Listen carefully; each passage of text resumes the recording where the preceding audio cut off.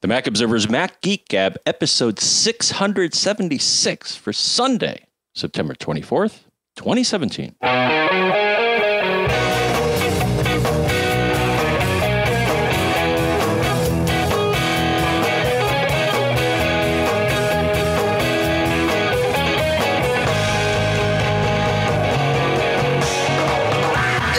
Greetings, folks, and welcome to the Mac Observer's Mac Geek Gab, the show where uh, the goal is for each and every one of us to learn at least four new things. And we do that by answering your questions, sharing your tips, sharing cool stuff found, and generally just kind of discussing these things that facilitate learning new things. And that's how it works. Sponsors for this episode include stamps.com, uh, a new sponsor for us here where I've got a way for you to go get uh, a four week free trial, including some postage and a digital scale. So we'll talk more about that a little bit later. Here in Durham, New Hampshire, I'm Dave Hamilton.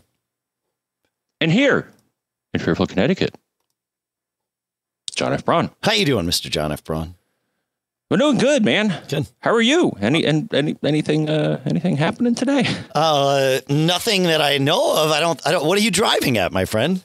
Oh, uh, you know, any life status event that Ah, yes. I am a day older than I was yesterday. But you're also a year older. I- so everybody wish Dave Hamilton a big happy birthday. Thanks, man. Congratulations on making it this far. That's the idea. Yes, that's the idea. Thank you. I appreciate it. Uh, I could think of no better way to start my birthday than to spend it uh, with everybody here. This is this is a fun thing that we get to do. So, This is your first present of the day. uh, actually, my family woke up with me this morning and, and gave me some gifts. But this is you know this is my gift to myself. Is really what uh, what that what that is. Yes.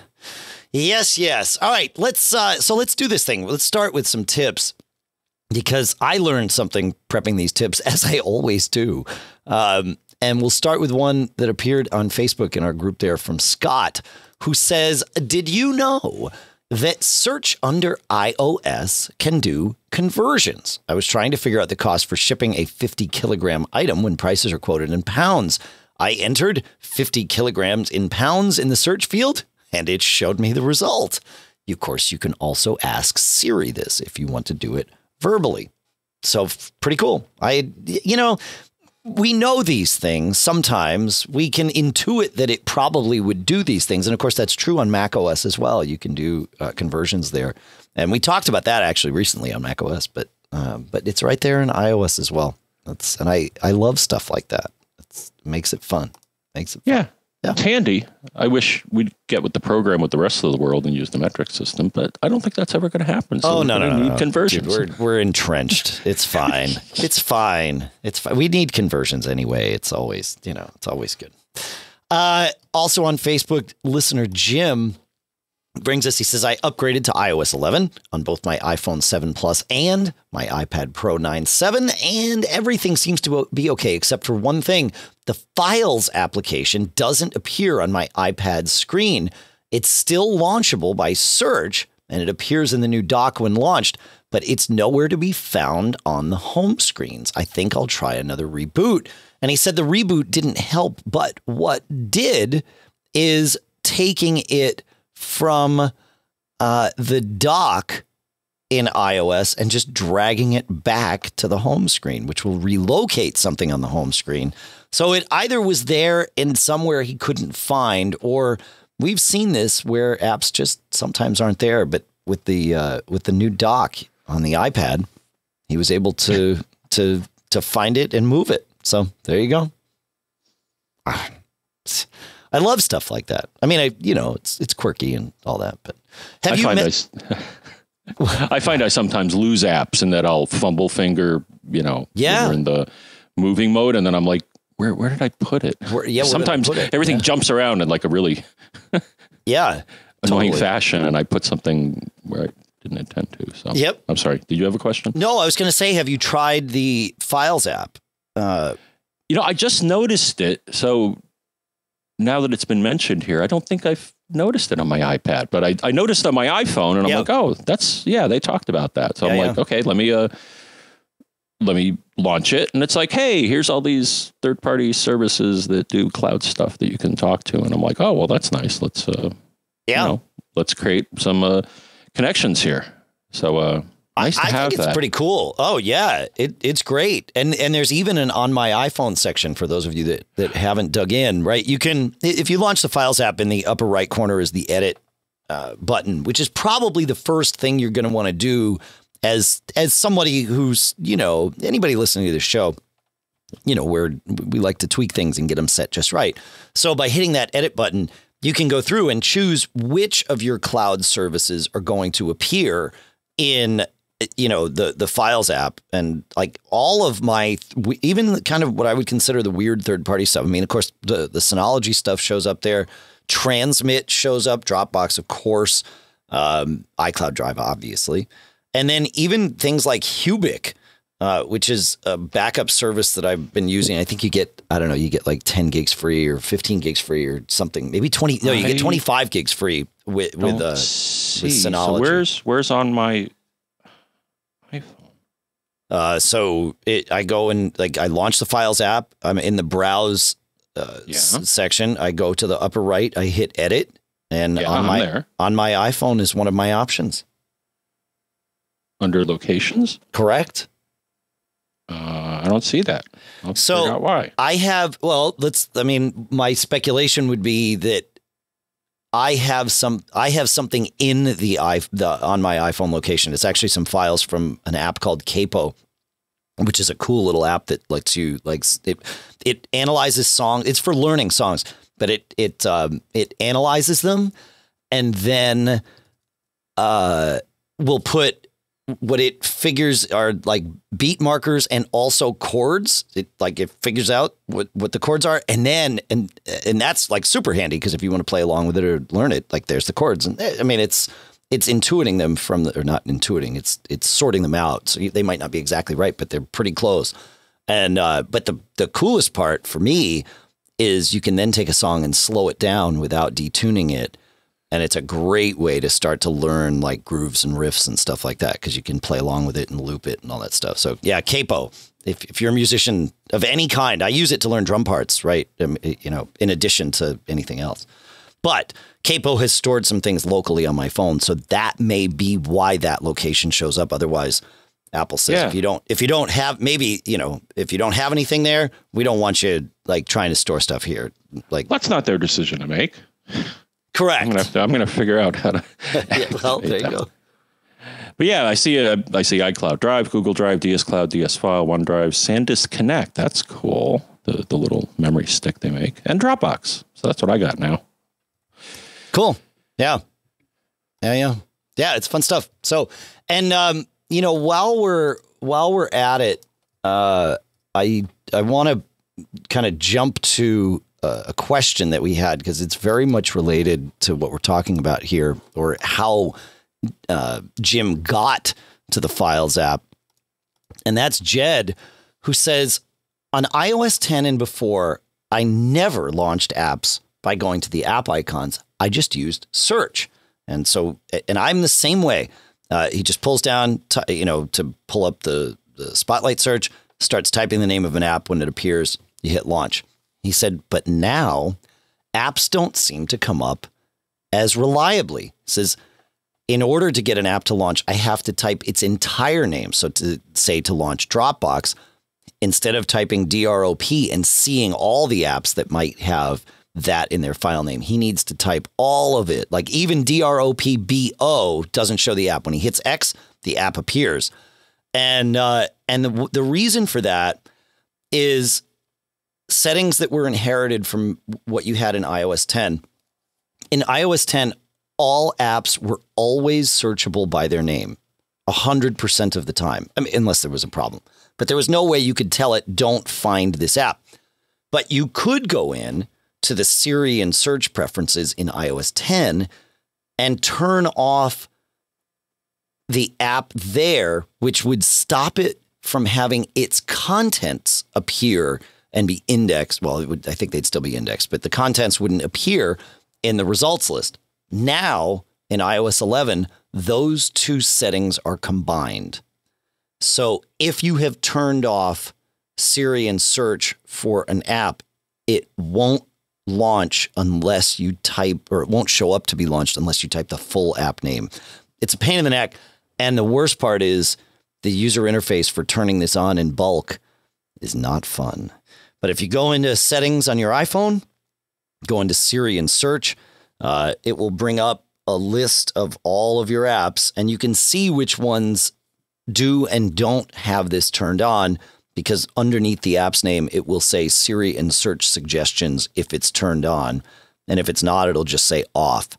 And you have to go to each one and turn it on and then back out and then go to the next one and turn it on and back out. And so I'm slowly going through all my apps to uh, to re-enable this. It's a pain in the neck, but uh, the good news is I haven't found it slowing down my phone. The reason I had turned all that stuff off was I found it slowing down my search results in iOS 10, and having it mostly now all on, um, it's not so bad. So there you go. That's what we do. That's how we do it. Don't you think, John? Usually. Okay. Uh, let's see. I, along the concept of searching, uh, I believe a different Scott on Facebook says, perhaps this has existed in prior versions of iOS too. He says, but I noticed that certainly in iOS 10 and 11, I can search for keywords that were tagged in the Mac version of Photos. He said, that's pretty cool. I didn't realize you could do that. Uh, he says, I wish I could actually add and edit keywords from the iPhone, but alas, no. And uh, and iOS 11 doesn't add that that functionality either. But uh, but being able to search for the keywords that you have set elsewhere, i.e., on your Mac, yeah, there you go. So pretty good, right, John? Indeed. All right. Um, you want to? Uh, well, I, I can. You want to take us to Joe? I can take us to Joe. Okay. so Joe tweeted, tweeted, and Facebooked this, but um, it's an interesting point to make, uh, and that you can still use uh, iTunes to do uh, management of things. Well, let me let me catch people up so that they're they're so that they understand what you're saying.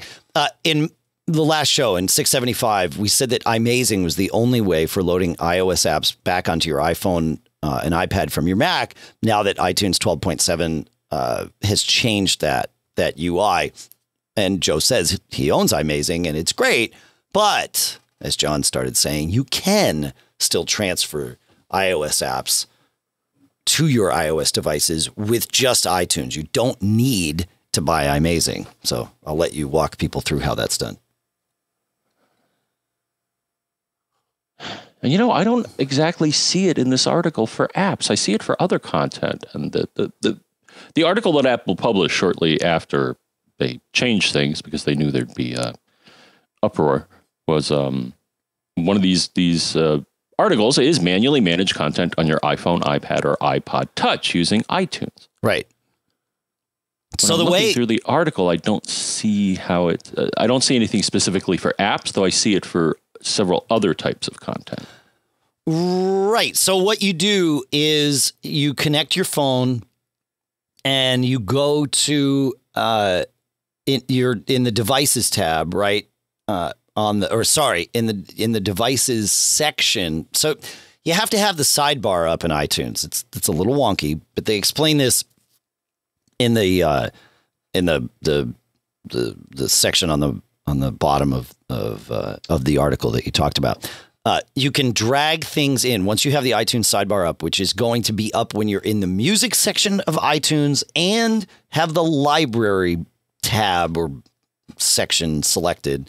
Uh, you can drag things from the Finder into that sidebar right onto your device and it will put them on there. So that's how that's done. Yeah. Yeah, it's pretty good. It's pretty good. Alrighty. Yeah, man. Yeah, yeah. Uh, you want to take us to uh, to John from Twitter? Yeah, John brought up a good one here. So in iTunes, there's no longer an apps uh, when you click on your device, there's a lot of categories of things that you can see on your device, but one of them that is no longer available, as we all know, or if you don't, try it. Apps isn't there anymore. Right. Wouldn't it be great if Apple made another app that would let you see the apps on your device? And they do, Dave. One of the things do? that, uh, yes, well, at least they haven't taken away the ability yet. Let's uh, let's hope they don't listen to this. But uh, Apple Configurator Two, Oh yeah. which lets you do all sorts of uh, uh, setting up profiles and, and configurations and managing. Uh, enterprise users use it, but uh, regular Mac users like we, or is that us? Like us, like us. Yeah. um, can also run Apple Configurator 2. And you will notice that if you run it and you plug in your device, you will see an apps category in the sidebar. And you click on it and it shows all the apps that are on the device. So you have not lost this ability with a Mac OS app. Huh. That's pretty interesting. yeah. Huh. All so right. it begs many questions, like why did they leave it there but take it out of iTunes? And uh, I, I, I think we'll well, never know. no, I mean, I, I like. Here's the thing. That actually makes sense to me. I, I mean, Apple Configurator 2 isn't an obvious place to go and look, right?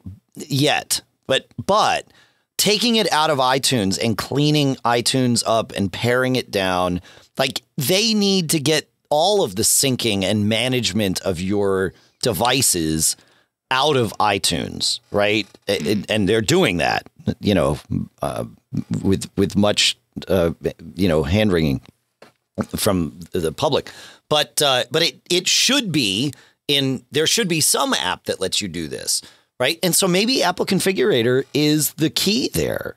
That maybe you know this is the thing that get, lets you get there. And, and I don't know. Maybe that that's not such a bad thing. I went, and this was actually really handy. I, I you know I collect. man, I right there? Too much singing have, last night. have some water. I, I, you, you have, you would be shocked at the quantity of water that I've been drinking this morning. Um, but singing and sweating for a, a, a wedding I played last night. Anyway, I knew I wanted to delete like a hundred apps off my iPhone, and I started, you know, the painstaking one by one process. And then I thought, nah, there's a bit, there's got to be a better way. Let me see if iMazing will do it. So I connected my phone. Actually, I didn't even have to connect my phone because I had already done it, and so it was wirelessly connected. And I just went to my phone and I brought up my list of apps and I highlighted one and I deleted it. I was like, yeah. And I looked on my phone and it's gone. It's like, oh, sweet. Great. And then I command clicked through a ton of apps and, you know, selected like 100 and I hit delete. Boom, gone right away. Good to go. So I was pretty happy about that. So, right. Yeah. Yeah. Yeah. Uh, another little tip uh, on iMazing, since it seems like that's become everybody's favorite app for uh, for this stuff, certainly ours. Brett reminds us. Uh, he says, "I'm sure you already know this, but if you're running iMazing Mini, uh, from the menu bar, select the iMazing icon to bring up the dropdown." And then click on the battery icon for any of your devices. It will give you detailed battery health status for that device. I think you've mentioned this in passing a couple times, John, but I wanted to I wanted to highlight it because it's I didn't.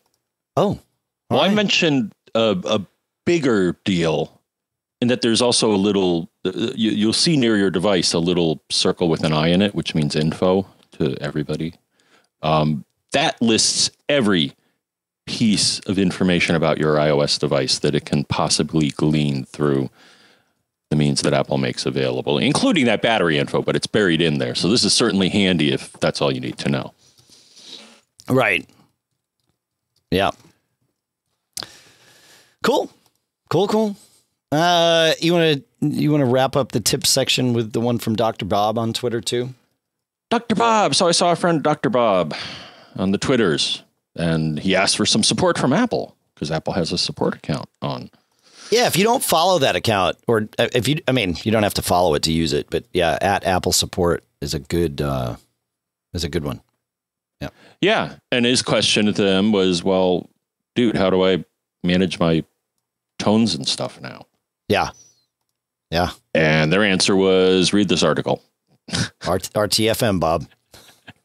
And it's called Use Tones on your iPhone, iPad, or iPod Touch. And it tells you how you can change your ringtone, re download previously purchased, or move ringtones from iTunes to your device.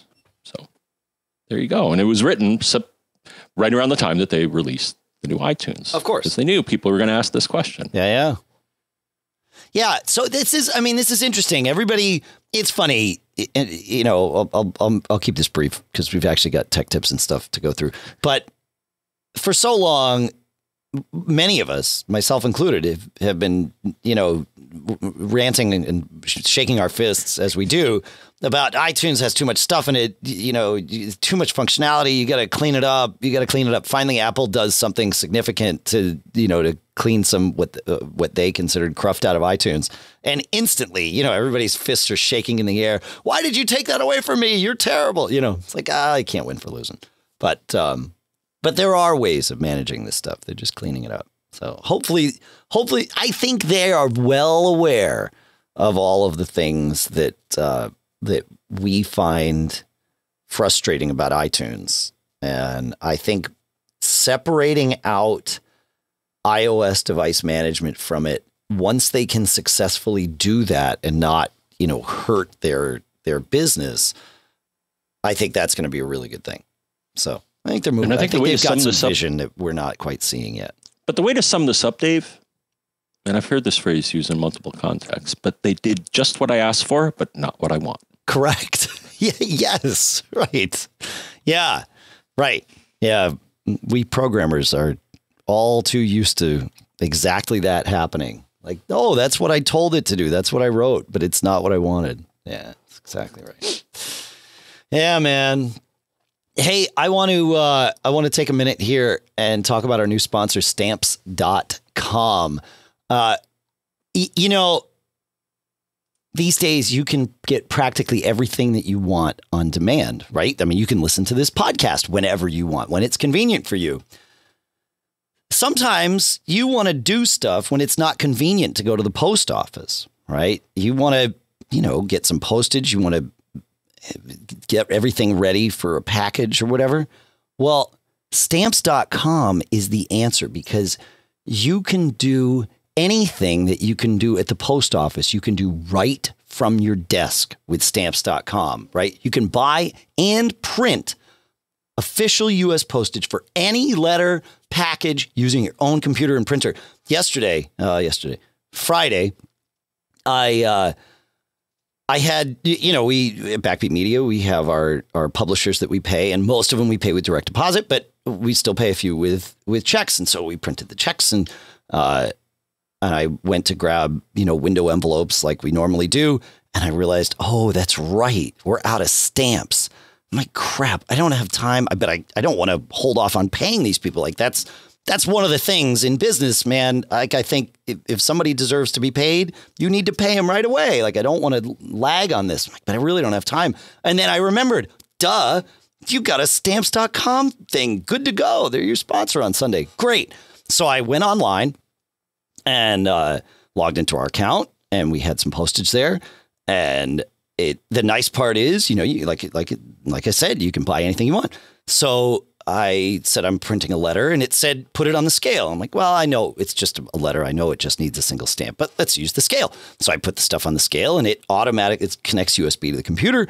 And it weighed it and auto filled on the website. It was actually really cool how that all worked.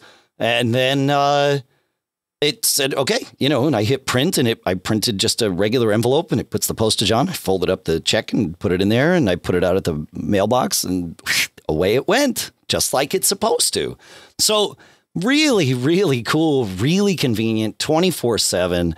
Like, this was the first time I used it and it took no time at all. Really, really worked well. And so, you can do this too you get a four week free trial or four week trial, and that includes postage and a digital scale. So, a four week trial, stamps.com includes postage and a digital scale. And the way you get that is you go to stamps.com. And then before you do anything else, and this is the important part, because otherwise you're not going to get the special deal, uh, click on the little radio microphone that's at the top of the homepage and then click MGG. So go to stamps.com.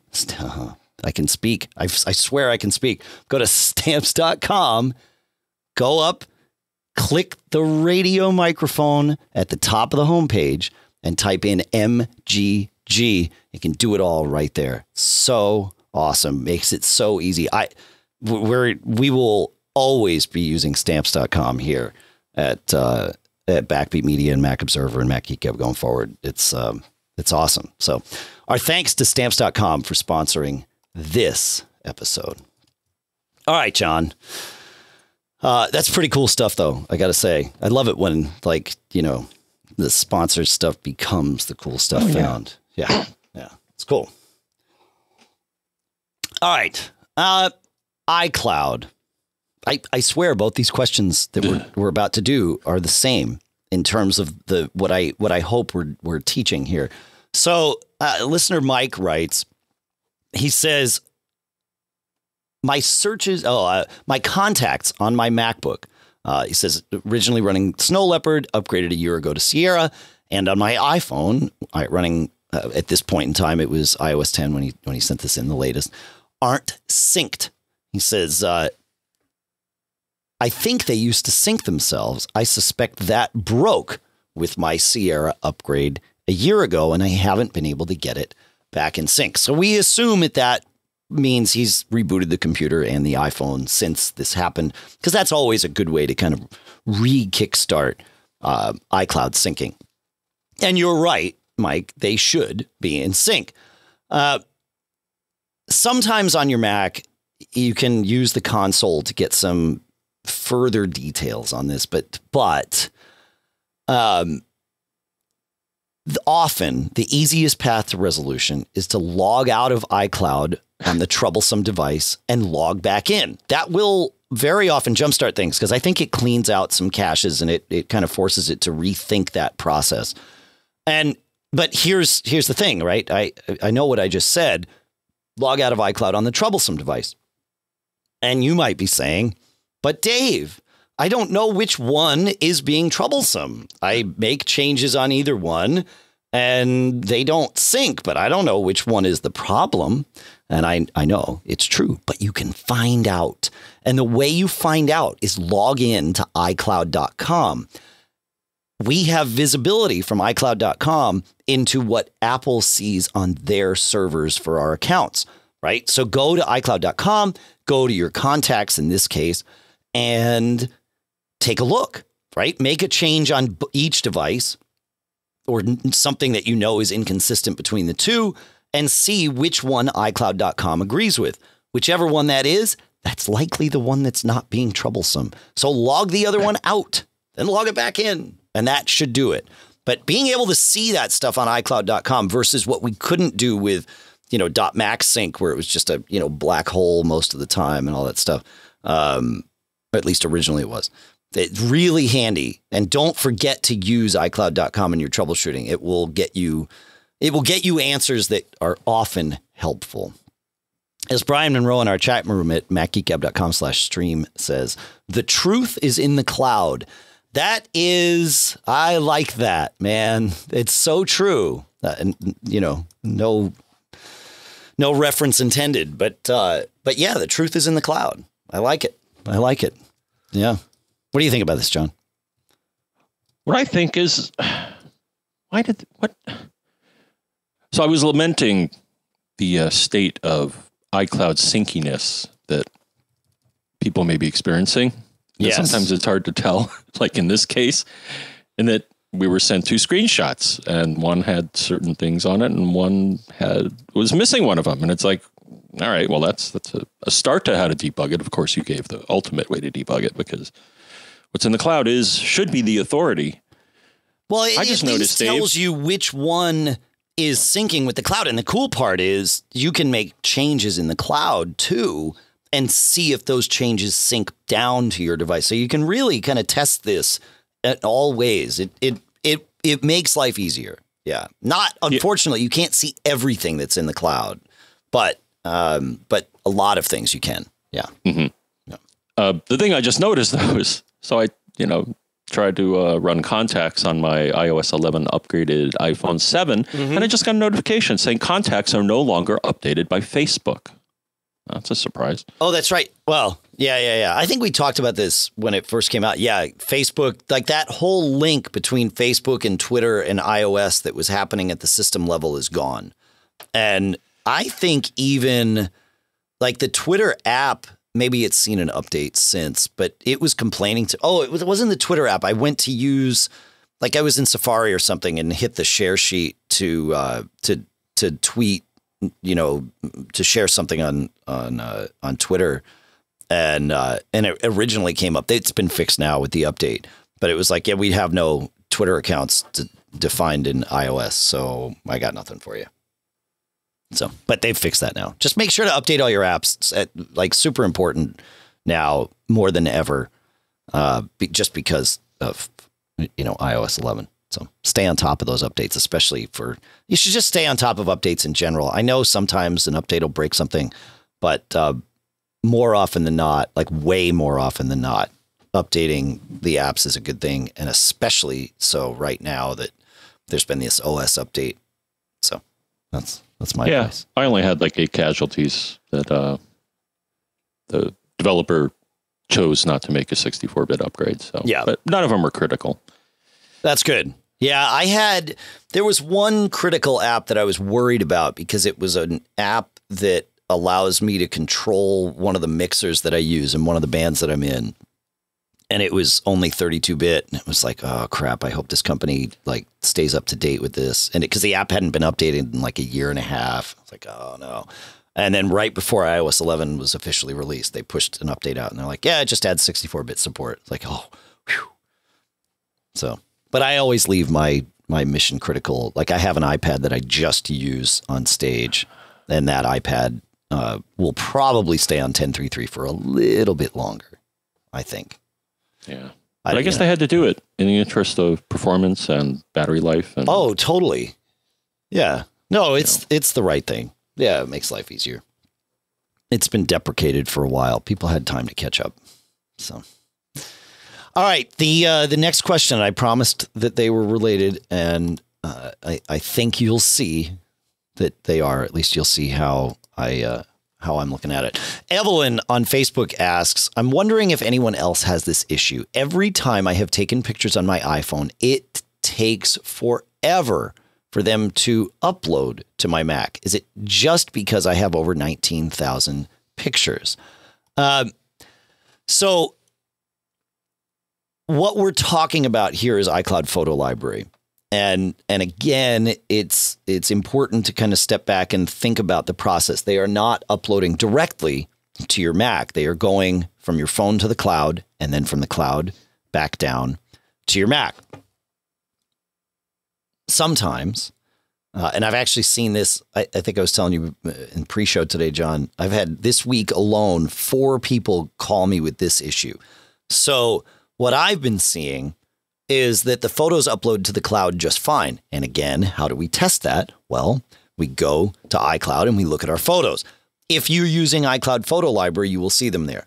If you're just using PhotoStream, you won't see them there. There's no visibility into PhotoStream from iCloud.com as far as I know.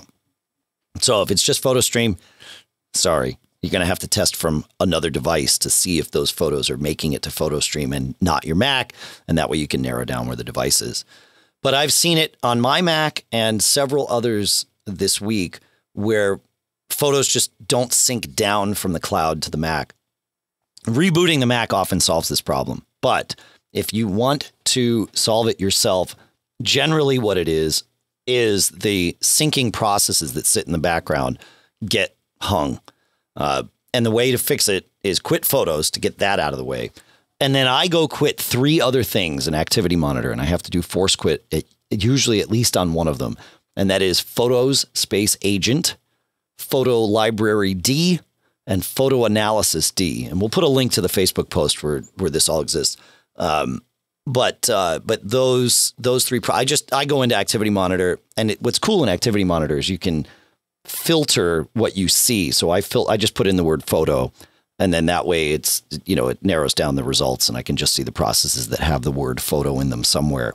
And then i just go i kill those off and and uh, and then relaunch photos and boom instantly everything just starts pouring in. So hopefully that helps. But john you have some thoughts for if it's not the mac if it's the iphone that's causing the problems. Right? I do. Well you were telling me about them in pre-show so i thought maybe you'd Ah, share I those see. again here Um. Oh, you mean the whole deal about um. Okay, them getting from the device up into Correct. the cloud. From getting from the phone to the cloud. Yes, exactly. I have noticed that we, we, we they may even still have this article, but so I'll dig around for it. Uh, but they said that there are certain conditions that under which the photos will not make it into the cloud. And I think what they said is number one, don't be running the camera app. And I don't know if that's still true. Maybe they fixed that in iOS 11. Oh, interesting. So they don't sync until you leave the camera app. That's what I found at one point. That that would kind of like- make sense because at least there you can start deleting. You know, you can take a picture and say, "Oh no, I don't want that. Delete it," and it's not wasting its time. But I think if it's in the for maybe it's in the background, then it'll be like, oh, okay, well, no, Yeah, okay. sure. And uh, Yeah. and of course, you got to be on. Uh, you got to have a decent wi- Wi-Fi connection.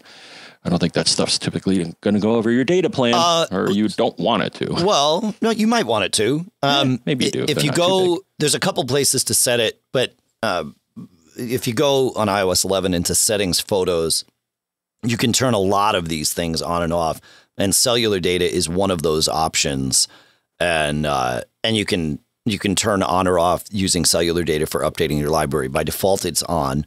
Um, and you can and then there's an, another option in there and i actually don't know what this is for it says unlimited updates and i'm not sure what that means but uh, the help text underneath it says unlimited updates may cause you to exceed your quota now i don't know what that means but there you go so if you've got an unlimited plan maybe that's what this is for oh mm. I- that one was off by default for me, by the way. But cellular data is on.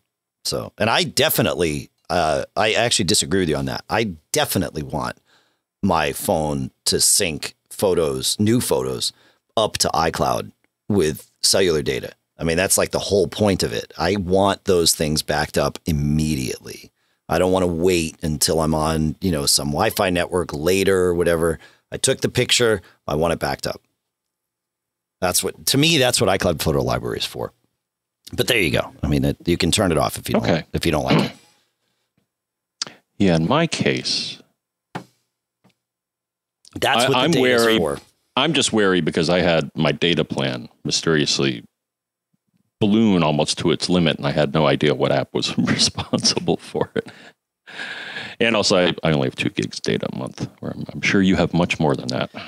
Like I some sort of do. family plan, or do you have? I, I don't know if you have unlimited, or I guess No. they deprecated those. Right? Yeah, yeah. Well, then they have an unlimited plan again uh, that we've thought about going to. We're we're with AT and T, and we have the 15 gig plan. It's shared amongst six of us, the four of us in my house, and and then my dad and um, and his wife. So we're all family members, but um, which makes it great for Apple Music, but and also for this data. But that 15 gigs is is right for us. It's about uh, you know, generally in a month, we as a family use about 12. And there's at least one person in my house that could care less about limits. Uh, my daughter is a dataholic. She'll she'll stand up in front of the room and say, "Hi, my name's Skylar. I'm a dataholic," and uh, she just can't help herself. She, you know, she knows. She's like, "Oh yeah, it's it's a problem." I love to watch like food videos and things like that, and I'll do it over cellular because I can't not. And uh, and so she uses about six gigs a month, somewhere between four and six. Um, I'm usually about two. Sometimes I go over if I'm traveling, but um, but it, you know the 15 gig plan works. Uh, unlimited would be nice, just because we wouldn't have to think about it. But it would it would probably cost us an extra 50 bucks a month to move to that, just because we're on an older plan that we've got some discounts baked into it that wouldn't follow forward. So um, every time I look, it's like, you know, if you could do this for like the same price or five or ten bucks more, I'd jump to it. But Yeah, fifty bucks. We just we we never go over because we got rollover data. So we can when we do go over, we're you know borrowing from what we didn't use last month. So so there you go. That answers your question. Right? All right. All right. Um, you want to take us to Ralph, my friend? Ralph had a question. He did. Let me get that question up here. There it is. Oh, come on. Figuring out my screens here. Oh, I have, right. I have a solution for you. But we'll get to that question. But I but I have a solution for you. Yep. Yeah. But anyways, um, Dave and John, quick question regarding your discussion with OAuth. If I utilize a Google or Facebook login for a website, and that brings me to a page that says the website is only requesting my name and email address, dot, dot, dot. Then I authorize that website to use the OAuth token. What happens if they change the requirements and now want other information from my Facebook account, like friends or my birthday? If I already authorized them previously, can they request new information that I originally authorized? Uh, more information than I originally authorized. Just trying to make sure I don't get caught, which is a honorable goal. Oh, that's that's honorable. Yeah, for sure. And here's the answer. So, one thing I tossed in the show notes for the last show, um, we had some, uh, was the uh, programmer's guides for the the various services. Uh, Facebook, uh, they're typically called login or sign in. So, Facebook login, Twitter sign in, Google sign in, whatever. And they all have a number of aspects to them. One is, you know, providing authentication, and the other is asking, well, what do you want to share? Yeah. Is that okay? And and just for clarity, because we got some notes we're we're you know we're talking about this thing that we call OAuth and and not spelling it. So it we we didn't explain the genesis of the term. It's O A U T H or short for open authentication.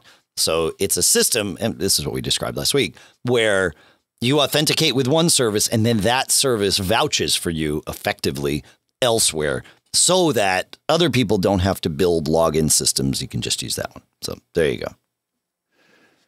And the good news, Dave, is that if you dig into the document, which I painstakingly tore through every page, not really. Yeah. So I went into the web section, and then they have a permissions section, and they explicitly say in that when you ask for new permissions, the person using your app will be asked about those new permissions and has the ability to opt out. So I appreciate the sneaky thinking because, yeah, what if an evil developer wants to all of a sudden get access to all sorts of additional things? And Right. maybe this was a security thing in the past. I don't know. But uh, it's certainly not the case now. Right. Right. Yep. So Yep. Don't sweat it. Don't sweat it. Yeah. Yeah. Yeah. All right. Um, and then we had we had one other thing and uh, on on Facebook where uh, listener Michael was saying if my credentials service, uh, if my credentials for the service that I'm using, like Facebook in this case, are leaked, uh, or lost, will that allow an attacker to access even more accounts? Presumably, they would see what OAuth tokens are there and then could go to those sites and log in. And uh, yeah, that's true uh, for sure. So yeah, if you're using Facebook or Google, any of these as your kind of as, as your single sign on to the web, if you will, uh, then yeah, you really need to protect that pretty diligently with a good password, probably two factor authentication, which most of them now support. Uh, in fact, I I wouldn't do the whole point, in my opinion, of doing OAuth is that you're choosing to say, hey, I'm going to trust this service to keep my authentication credentials secure. And therefore, I don't have to worry about whether or not that service and that service and that service keep their systems up to date because I'm just going to use this one. But if you're going to do that, you have to sort of you have to meet them halfway and take advantage of all of the security that they have. So don't use, you know, a four digit password that's easily guessable. 1111 is bad. You know, 1234 is worse. Uh, but, um, but, you know, also use two factor authentication and really lock that down so that, um, so that you're there. The nice part about it is generally once you've logged in on your, you know, on one device, it it it it likes you, and so you don't have to go through all the pains of the two factor every day and all that stuff. So it can be helpful, but but meet them halfway. Yes. Right, John? I'll meet them. You, you did you meet them? Yeah. Hey, uh, so I um I uh I, I want to jump around a little bit because listener Joe has a question that uh, that I think might help you, John, and uh, and that is he said I have a widescreen and vertical dual monitor setup at work. He says I'm a doctor in this use case, so I need various sources of info open at the same time. Uh, he says I need to see all kinds of things at basically at once to uh, to deal with our our you know healthcare IT and all the systems I need to log into. So he has to have his agencies, his his uh, practice agencies thing open. He needs to have the state's web portal open. He has to access a patient document on a you know secure server locally. He needs to access another state portal, and then he needs to keep email and Skype open so that he can monitor for you know incoming things and all that. And he says uh, it's a double whammy effect if I have to mess around with my main default setup to do this task and then reconstruct those previous windows afterwards. He says it becomes a cacophony of opening and closing windows. And of course, I would love these window locations to survive a reboot as well. Said, and then he goes on to say if he happens to disconnect a monitor and plug it back in, then everything just blows up.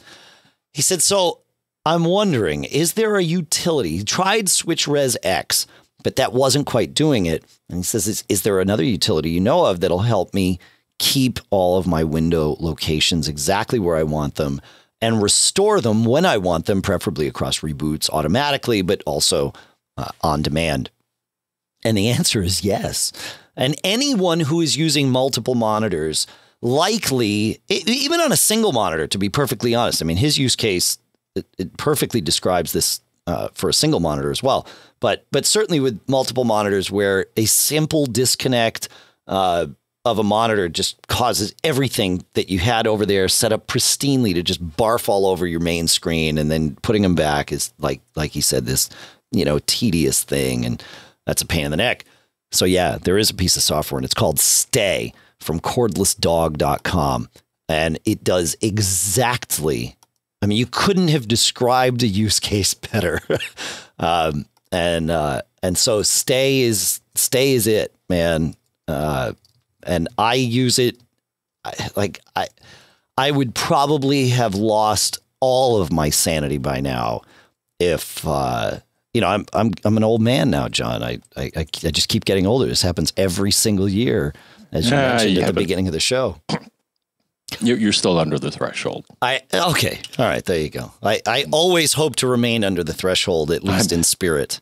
I may be. Well, I think as long as we do this, right, we'll never lose our spirit. That's right. But um, but having this, especially you know when I said I was going through all those problems, like figuring out like my monitor just wouldn't turn on, and the only way to to uh, to do it was you know to disconnect and or reconnect power or power cycle the thing, and uh, I mean stay just like puts everything back where I want it. I don't have to think about it. I put it all there. I say, this is how I want my screen set up. And it's like, okay, good to go. And you can have different profiles and stuff. It's awesome. It's, it's awesome. Hopefully it always keeps working. And, uh, you know, I haven't, I honestly haven't tested that, this with High Sierra yet, but, um, but we're, we're going to just, right. um, let's see, let's see. Uh, hmm. It's been December since it was updated. So I I have a feeling it'll work. You know, let, let, we can talk a little bit about High Sierra because uh, there are some things, fundamental things that change with High Sierra, but in terms of use, like when you launch it, you're not going to notice a whole lot different. I don't think. Uh, it's it's basically an under the hood update, a major one. And there are some apps like that that won't run as if you're running an older app, like we run FileMaker here, and uh, we've got one set of databases that's um, that's still on what I'll call the old format, which changed many years ago with FileMaker 12. So we're on FileMaker 11 with this one database, and that will change this week. We've got to we've got to jump that up to to current FileMaker the, the the 12 and later format to match all the other stuff that we do, uh, because FileMaker 11 just doesn't run on High Sierra at all. I mean, it does, but it, it crashes a lot. And it's fine. I mean, it's you know, it's like five years old or whatever, so that's okay. Six years old, I guess. But um, so the, there's going to be some of that stuff. But in terms of of what you'll see when you run things, uh, I don't. You know, I, I would guess that something like Stay would would probably work quite quite fine on it. But there there are under the hood things. And if you are running on an SSD, you've probably heard this, but but we'll state it here too. When you upgrade to High Sierra, you will be upgraded to the new file system. You it will very likely all, all the testing that we've done here has seen that happen without issue or fanfare. It works just fine. Uh, you often don't even know that it's happening uh, until afterwards, and you go to do a get info on the drive, and it says, "Yeah, you're running APFS," which is pretty cool. The fact that they can do that, you know, right on top. We can we can thank all of us iOS users for being the beta testers for that over the top upgrade, which is cool. So I don't know. There you go. What you, any thoughts on High Sierra to share with people as they're diving into their first week with it, John? No. None. I mean, I'm you've, ready. you've run it. Um, uh, any like, I mean, did you notice anything? Like, was there uh, other than the file system stuff? You know, was there anything that just like jumped out at you? Not really. Yeah, same. I looked at it and I'm like, well, looks the same. Seems to work the same. I mean, you'll notice, Well, uh, you know, I- there's some new features in photos and, you know, some of the apps have some incremental improvements, but nothing that blew me away because I don't think that's the intent of this release. This is to fix the plumbing Yeah, yeah. So rather than remodel the, uh, the, uh, the bathroom right, right. It does. Yeah, or whatever room you, No, you that's good. think of as your Mac. Yeah, yeah, yeah, yeah. Yeah, so um I have I, and I mentioned this before so I won't go too long on it, but I have found that on my on my older 2011 Air, which is sort of my test machine that I always try new OSs on uh, and will un, until either I you know trade it out or OSs don't run on it anymore. And those two things will probably coincide. But um that machine runs way faster with High Sierra than than it did with Sierra. And it's it's as I said, sort of the management of all the background processes that that sort of run these days happens much better with High Sierra. And I've heard others reporting this as well. But you mentioned photos, and I do want to note that iOS 11 and High Sierra use a new um, photo compression codec and a, and a new video compression codec, and it's it's called high efficiency video compression or high efficiency image compression. And it's it's they create files that are .heic or .heif for images, and then .hevc or .hevf. So this replaces JPEG for the internal storage on your devices. When you're when you go to share a photo from your iPhone, it converts it to JPEG on the fly and and off it goes. But um, these this format, this HEIF format, is um, way smaller, uh, way more efficient. I guess is the right way to say it. Hence the term high efficiency. But it creates smaller files than JPEG for the same quality or greater quality at the same file size and uh, and it is the standard for photos now. So you may see these things come up, and uh, it's you know it's fine. Uh, You don't really have to worry about it. Just be aware of it in case you happen to run an app that's looking directly at your photos library, either on iOS or on on High Sierra, and it, it's trying to like if it's an older app and it just doesn't have support for HEIF, then that's bad. There you go. Have you messed around with with anything? I mean, I know you've been using iOS 11, so sort of by default you've been using HEIF, John. But have you have you done Uh, anything? with there's it? nothing that's impacted my workflow Got it. regarding Yeah. HEIF, or as I like to think of it, the sound of a cat coughing up a hairball. There you go. Yeah, yeah. Heef. Yeah. Or Heek. I don't know. yeah, yeah, yeah. Um, I, I do like the new Safari, but we get that either in Sierra. You already have that if you updated this this week in Sierra to the new Safari, um, where you get it. It's it's got all that pr- new private browsing stuff that the ad industry is up in arms about, and you know, and I say this as a member of the ad industry.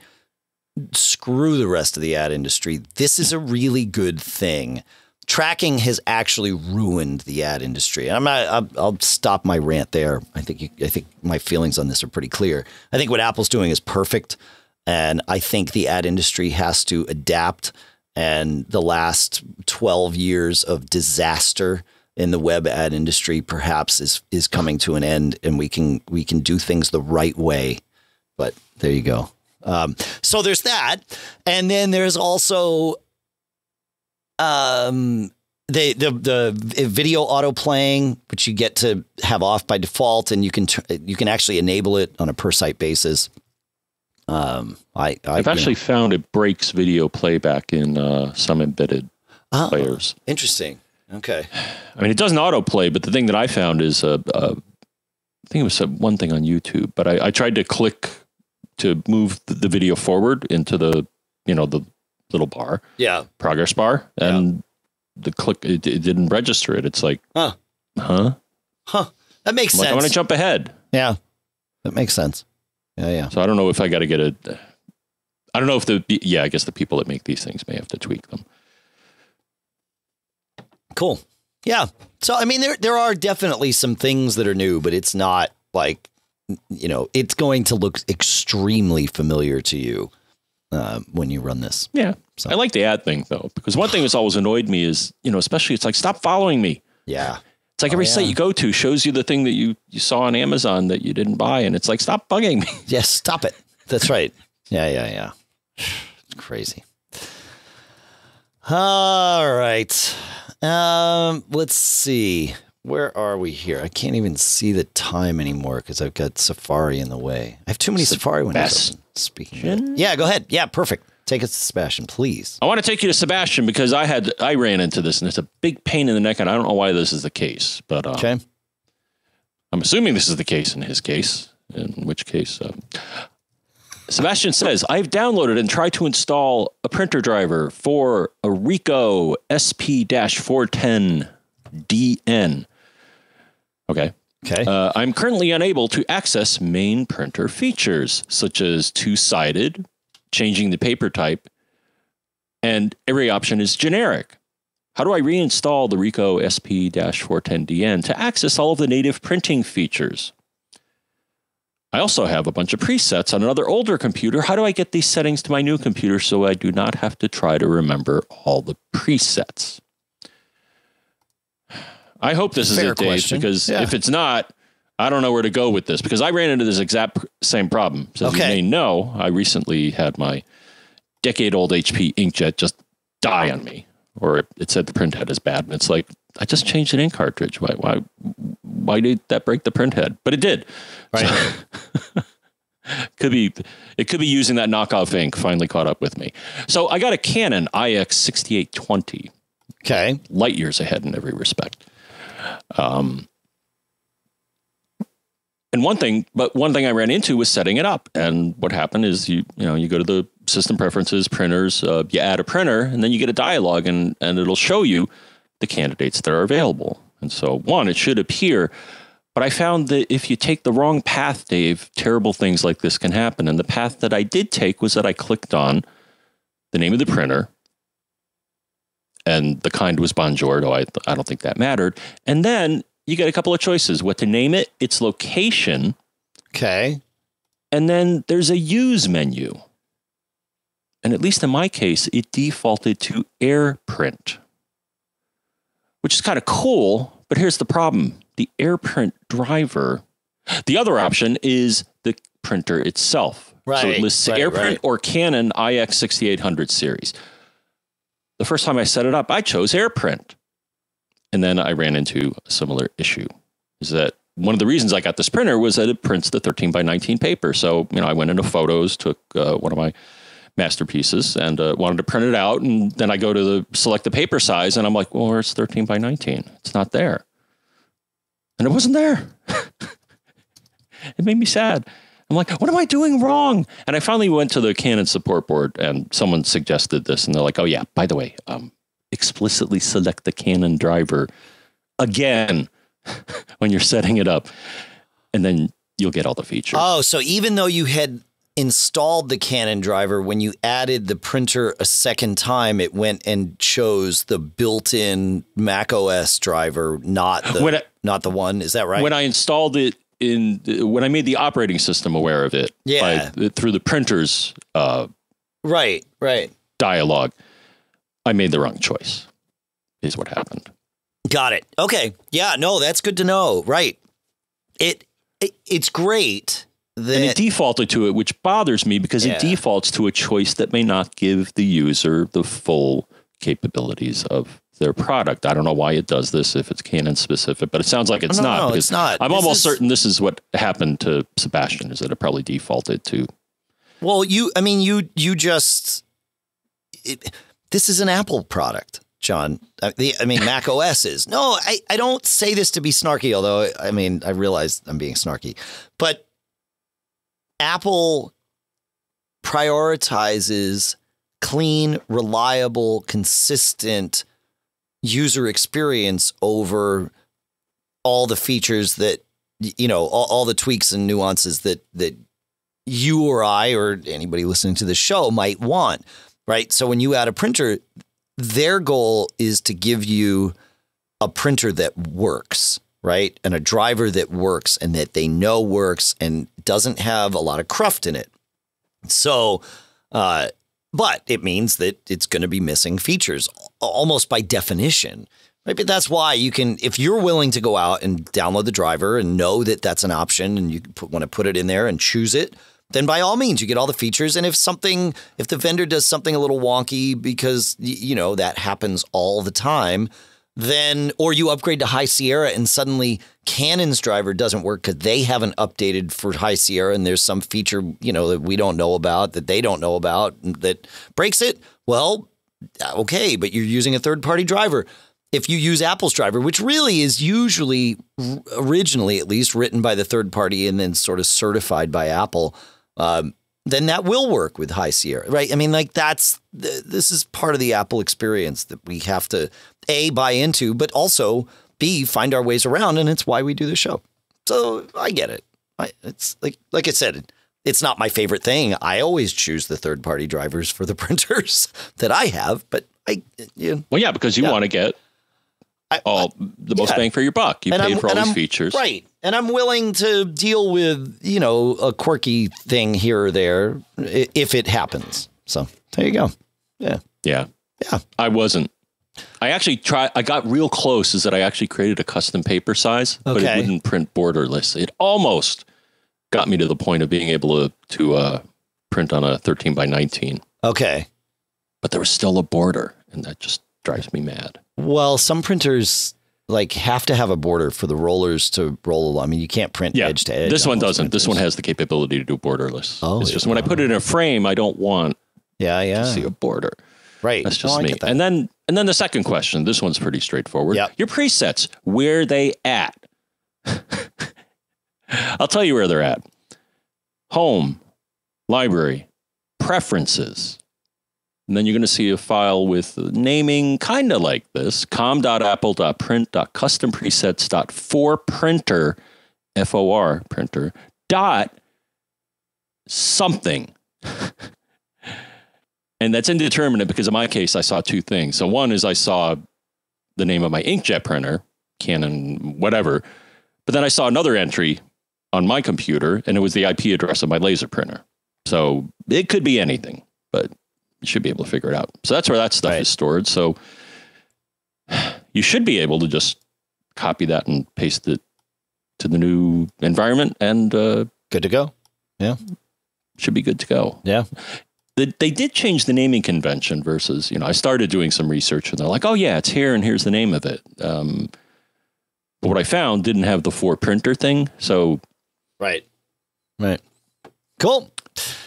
Uh, all right, let's change gears a little bit here. We've still got a little bit of time. Uh, Michael on Facebook brings up his question brings up a, a thing that you know, like everything, we're always looking for what's the what's the nugget of, of information here and uh, what's the shareable tidbit. So Michael says one thought on the lack of iOS App Store in iTunes for the Mac. This is not going where you think it is. Trust me, if you're sick and tired of hearing iTunes rants, I'm with you. I'll get there. There's a tip. He says, Today I was using an app and thought I would go to the App Store to review it. As I usually do, I write my App Store reviews in a text editor and then copy it and paste it into iTunes. I started, then remembered that I cannot do that. So I gave up. I hate, hate, hate, he says, writing reviews on my iPhone. It's too small and I make too many typos. So I simply will not write app reviews anymore. He says, if anyone is like me, this lack of, uh, yeah. Okay. So we get you. We hear you. But here's a trick that you can do to start it exactly the way that you did prior. Go to your Mac, go into whatever your te- favorite text editor is, and write your review. And then do the second step copy that review to your clipboard. Assuming you are using a Mac and an iOS device that are current enough to support uh, clipboard sharing or whatever that handoff feature is officially called, now go into your on your phone and go to say I want to write a review and put your text field in the, you know get yourself to where the text field is is ready for you to type the review. And instead of typing tap and pull up paste. And when you hit paste the clipboard from your Mac will be pasted into that field. And I always forget about this that you can do this shared clipboard thing and it's awesome it's great when I have to do like, uh, I mean, sometimes I wind up doing it with passwords or, you know, different things where it's like, yeah, I just want to, I, I need this data from here, there, and I don't want to have to retype it. I can see it on my screen on my Mac. So I copy it and then paste. And and you'll see it like there's a little bit of a lag when it, it says, Oh, you want me to get the clipboard from your Mac? Great. And it just sort of does that. So Yep. It is that to me, that's the way to do it. And um and it's great. I, I, use the feature all the time, but uh, but it's easy to forget that it's there if you're not using it all the time. So it's a good question, Michael, and I'm sorry you're unhappy about iTunes 12.7. I, I don't think it matters whether we're happy or unhappy. Like I said before, this is just this is the new normal. Here we go. Yeah, yeah, yeah, yeah. Um, Oh, we'll jump around. It's my birthday, John, so I'm gonna I'm gonna do uh, this question from Dan if you if you don't mind. Uh, we talked about capo before, so any musicians listening to this show, here's another one. But but again, this you know goes in a different direction than than you might think initially. Listener Dan on Facebook asks, "I'm learning bass guitar." He says, "And seeing as I've got an iPhone 7, I have caused to use the supplied dongle to plug my phone's audio out, my headphones audio out into my practice amp. The thing is, the quality is awful, and I realized that there must be a tiny little DAC in the dongle." If I've understood that correctly, is the only way to get better audio to buy a third party DAC of some sort.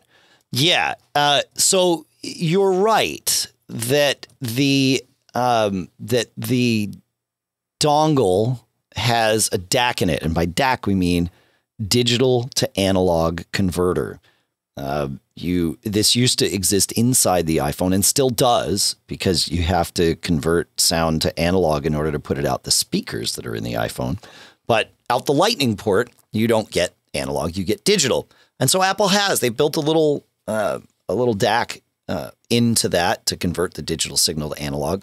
And the quality of your DAC will make a huge difference uh, to how things are going to work and how things are going to sound.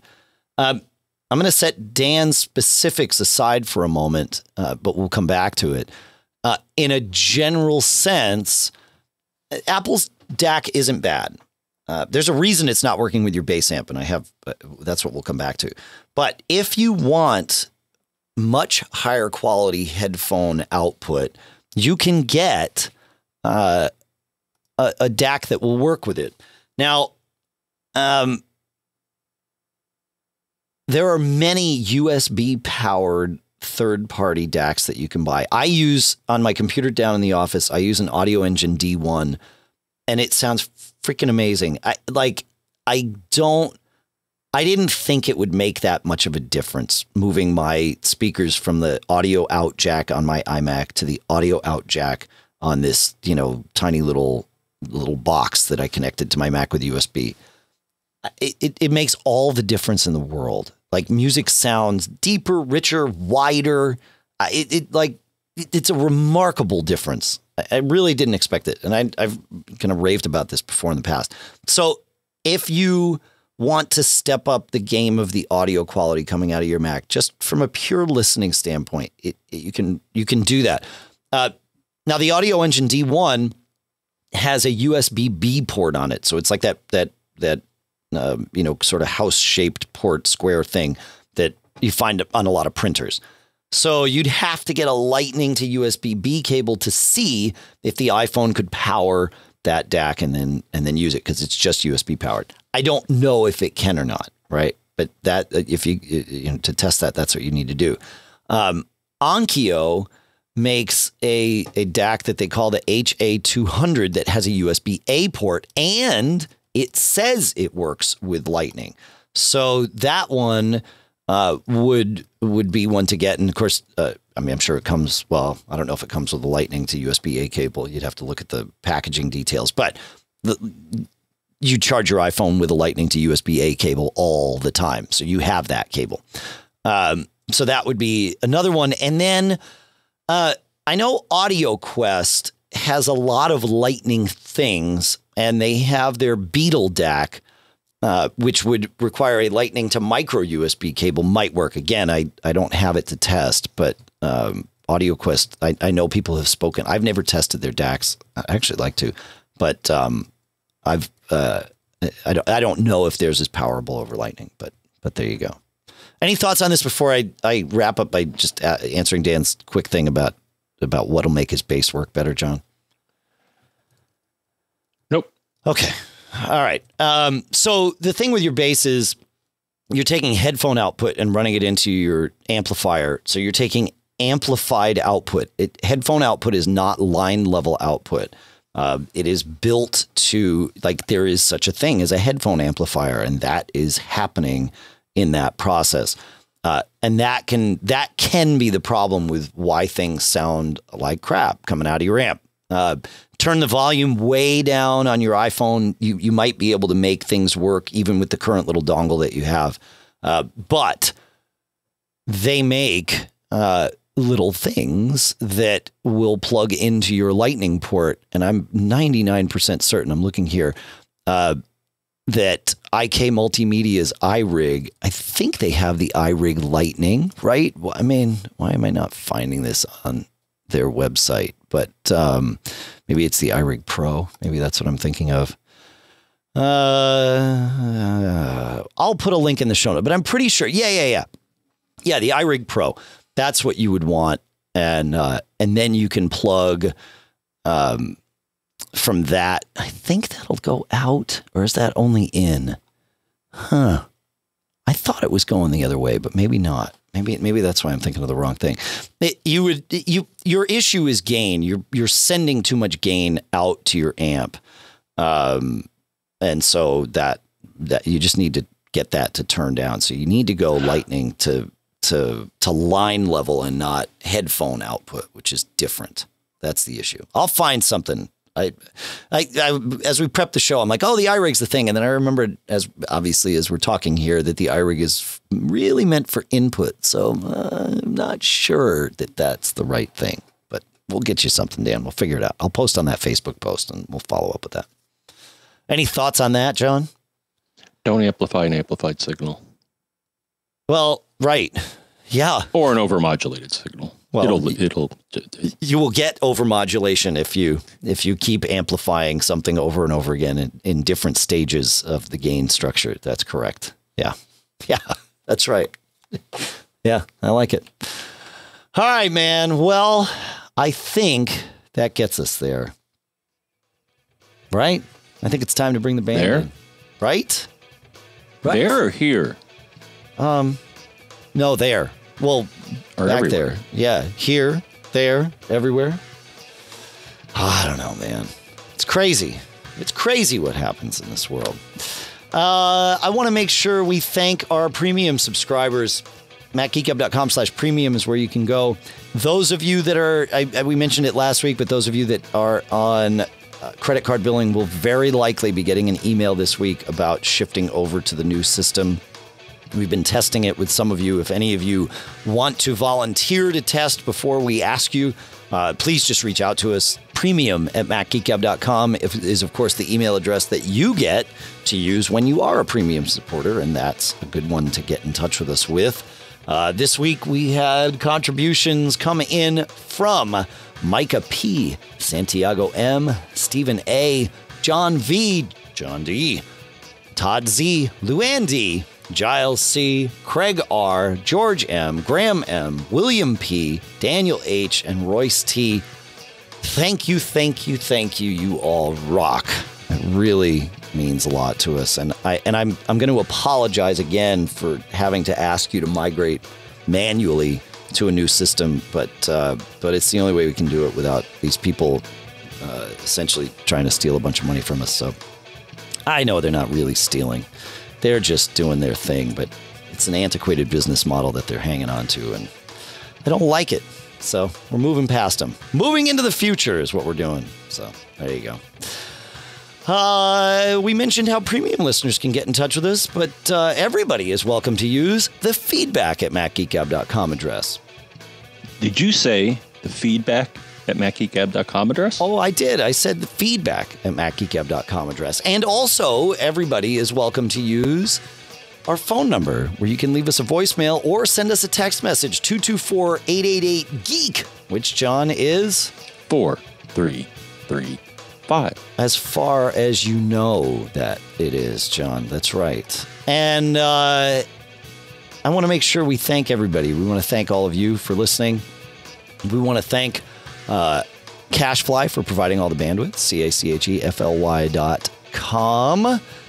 We want to thank our sponsors, of course, stamps.com. You go there, you click on the little radio thing, you put in MGG, and you get uh, it's like 110 bucks worth of all sorts of freebies, which is just awesome. Uh, included with your with your your trial, and uh, you get great stuff from our friends at Other World Computing at MacSales.com. You can get BBEdit from our folks at BareBones.com. Smile at SmileSoftware.com. I hope you all have a splendid week. Enjoy High Sierra. Let us know if you have any questions, tips, or problems about that, of course. And, uh, you know, don't get caught. Made up.